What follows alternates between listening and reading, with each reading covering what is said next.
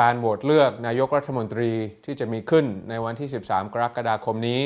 ไม่ใช่การเลือกพิธา ไม่ใช่การเลือกพรรคก้าวไกล แต่คือการเลือกเพื่อยืนยันว่าประเทศไทยต้องเดินหน้าตามระบอบประชาธิปไตยแบบปกติ เช่นเดียวกับประเทศประชาธิปไตยทั่วโลก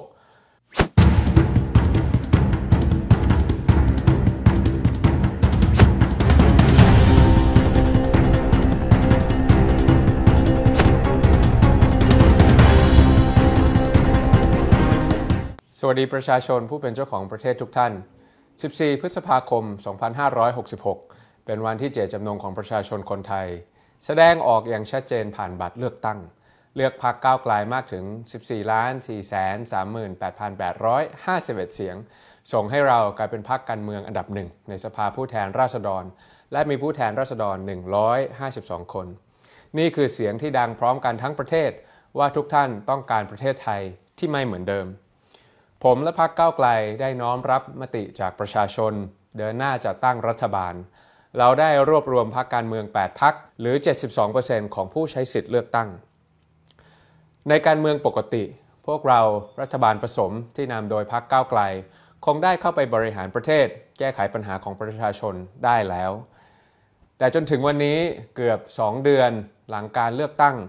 การโหวตนายกรัฐมนตรีเพิ่งจะมาถึง และเรายังต้องรอการตัดสินใจของสว ว่าการจัดตั้งรัฐบาลจะเป็นไปตามเจตจำนงของประชาชน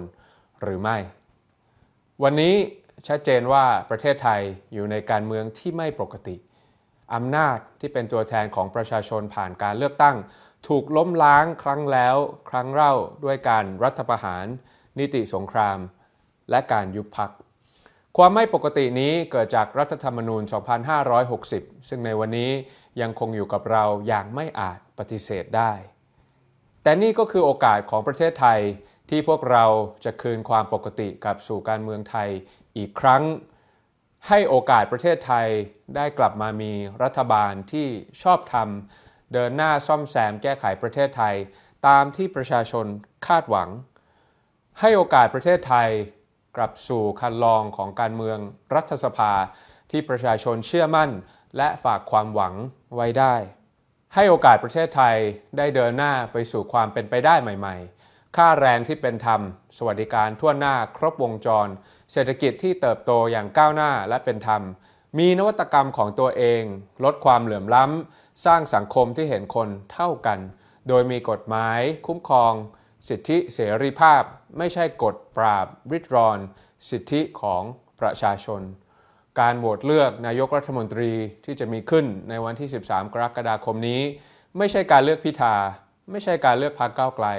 แต่คือการเลือกเพื่อยืนยันว่าประเทศไทยต้องเดินหน้าตามระบอบประชาธิปไตยแบบปกติ เช่นเดียวกับประเทศประชาธิปไตยทั่วโลก คือการเลือกเพื่อยืนยันว่า แม้เราจะยังอยู่กับรัฐธรรมนูญที่เอื้อต่อการเมืองที่ไม่ปกติ แต่สมาชิกรัฐสภาทุกคนสามารถร่วมการใช้เสียงของตัวเอง สารต่อเจตนารมณ์ที่ประชาชนแสดงออกผ่านการเลือกตั้ง ให้รู้ล่วงจะตั้งรัฐบาลที่เป็นตัวแทนเสียงข้างมาก ให้สำเร็จ ภารกิจนี้คือภารกิจร่วมกันของเราทุกคนในฐานะสมาชิกรัฐสภา ผู้ถืออำนาจแทนประชาชนคนไทยทั้งประเทศ ในโอกาสนี้ครับผมขอสื่อสารไปยังสสและสวทุกท่าน ท่านอาจจะไม่ชอบแนวทางการเมืองของพวกเราในระบอบการเมืองปกติ แต่พวกท่านตรวจสอบผมได้ โจมตีผมได้โหวตผมออกจากตำแหน่งก็ยังทำได้ แต่การโหวตให้รัฐบาลเสียงข้างมาก คือการให้โอกาสประเทศไทย เดินหน้าในแบบที่ควรจะเป็น ในโอกาสนี้ครับผมขอสื่อสารไปถึงประชาชน เราผ่านวันเลือกตั้งมาแล้ว แต่ภารกิจ ยังไม่สำเร็จ การเปลี่ยนแปลงประเทศจะเกิดขึ้นไม่ได้ หากไม่มีรัฐบาลเสียงข้างมาก ที่จะนำพาประเทศไปสู่ข้างหน้า ผมพร้อมแล้วครับที่จะเป็นนายกรัฐมนตรีของทุกคน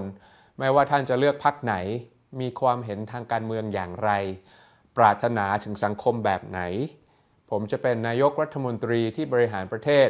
ที่โอบรับความฝันอันหลากหลายของทุกคนได้ หากนี่คือสิ่งที่ท่านอยากเห็น ให้โอกาสประเทศไทยได้เดินไปข้างหน้า